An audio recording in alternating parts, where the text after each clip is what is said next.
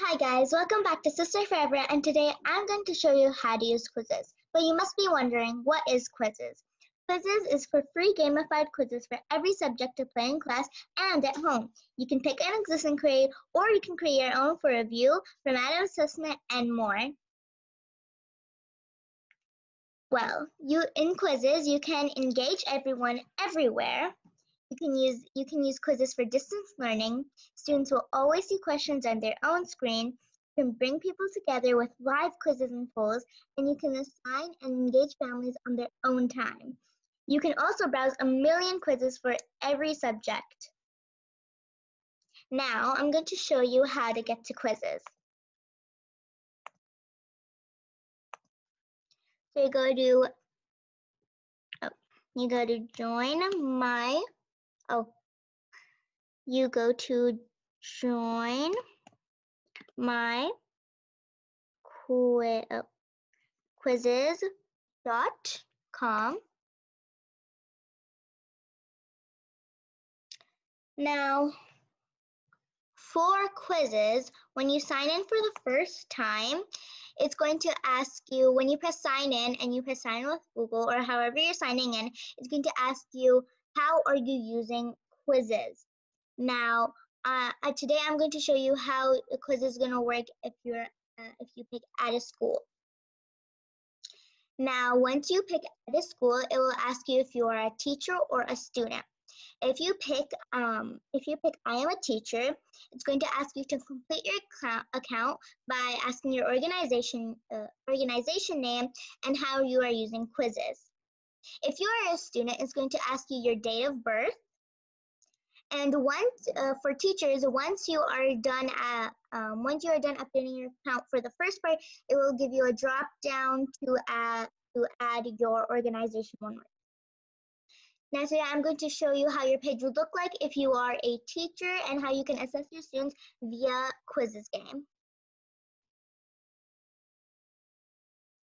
And if one more thing, if you cannot find your organization, you go down here and you click on uh, you. If you cannot see your organization, please click add it or uh, not connected to a school. And once again, now I'm going to show you how to use Quizizz if you are a teacher and how you can assist your students via Quizizz. Now, once you um, once you are on Quizizz and once you are done signing in, your homepage should look like this but you're going to go to instructor dashboard and your page will look like this. Now over here, you can see it has like pre-made quizzes made by other people that you can assist your students with. And to create a quiz, you go to create and quiz. It's taking time loading. Now, when you you have to name your quiz and you're going to choose a subject, I'm just going to choose mathematics to show an example, and we're going to pick. I'm just going to name it math. Now, one more thing, you have to name your quiz.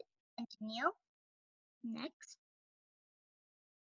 All right, so now once you are on uh, create a quiz, there is a multiple choice check spot, check box, fill in the blank, hold open-ended, and slide. This is new. Now over here, I will also show your quiz quality score. So um, how like what is the quality of your uh, of your quiz? So and here you can make it public or private. Here you can pick the language. And here you can pick the default time for all questions. I'm going to make this private. You can add grades. You can, I guess, rename the, uh, you can, well, this is the subject. And you can import a spreadsheet from here. If you choose multiple choice, I'm just going to write a question. Now here I'm just going to give answers.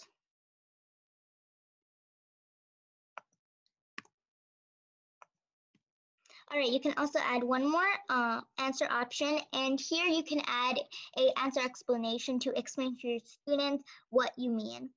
And here, tag options, you can add tags. And I guess this is a the explanation. Now here, you can choose the time for how long your students have to answer the question. And this is an important part.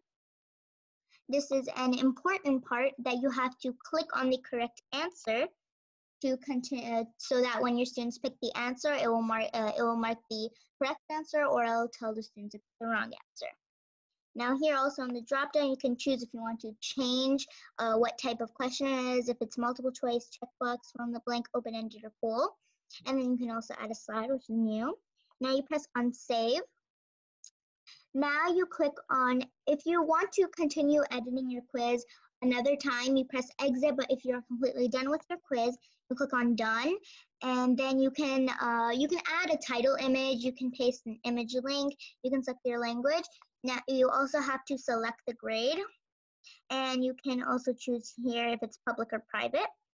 Then you press save. All right, so now once you're done with your quiz, it's going to look like this and it will now you if you want to if you are in class with your students you will select start a live quiz um, or you could choose assign homework but i'm going to show you how to assign a live quiz. You can do instructor based or classic and click on classic. You can pick your mode. And press continue after you're done clicking your mode and now you will tell your students to go, uh, go to joinmyquizzes.com and you can send them the link or you can ask them to enter the code. And as your students start to join uh, in this area right here, it will tell you the participant's name and how many part and the number of participants. And once all your participants are in here, you can click on start. And I hope this video was very informational for you and I hope this was a nice experience for you to learn how Quizizz is how Quizizz is used. And make sure to like, subscribe, and turn on post notifications so you get notified every time I post another video. And in one of my future videos, I will show you how student view looks like.